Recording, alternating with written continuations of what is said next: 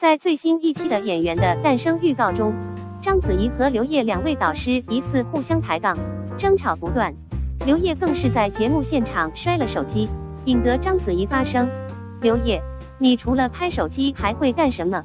节目中，章子怡眼神犀利，频频发难；刘烨则是双手叉腰，怒发冲冠，两人中间散发着浓浓的火药味。《演员的诞生》这个节目不仅邀请来了章子怡。